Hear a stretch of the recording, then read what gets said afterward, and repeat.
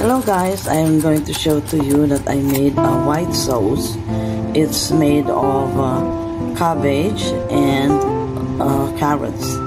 So I prepared first my carrots and cabbage. I boiled water and then uh, make it sure that it's uh, soft and cooked.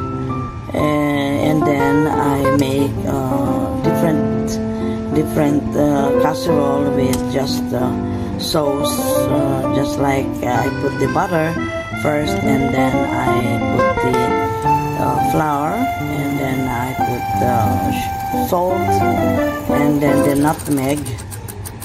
And so I just uh, also use the ordinary uh, whole milk. And then uh, I mix everything. So this is the result. And uh, the fish the fish cake.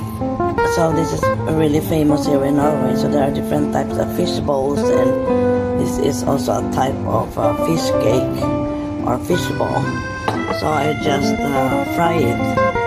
And then this is already done. And then my uh, potato potato. And then we're going to eat. I put also uh, peppermint salt and nutmeg.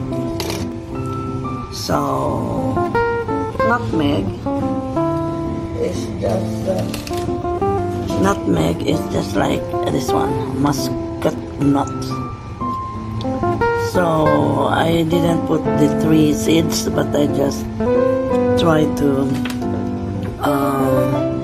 to scrape it so I would have uh, the uh, taste for muscat nut or nutmeg okay guys.